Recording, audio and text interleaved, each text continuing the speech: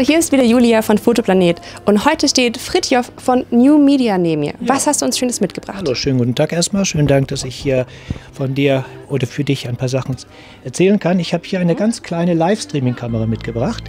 Die hat einen Sony 4K-Sensor. Mhm. Innen drin 150 Grad Bildwinkel kann ich mit 4K aufzeichnen auf die interne Karte. 16 GB wird mitgeliefert. Hält eine Stunde Power. Mit dem Booster zusammen komme ich zusammen auf 10 Stunden. Hab so Power und kann hier streamen über eine iPad oder iPhone oder demnächst auch Android gesteuert.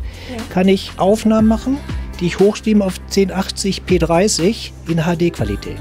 Super. Und ich muss sagen, passen in die Handtasche, ist leicht. Ist leicht. Ja. Und ich habe ein Fernsehstudio, das kann ich mir automatisch zeigen.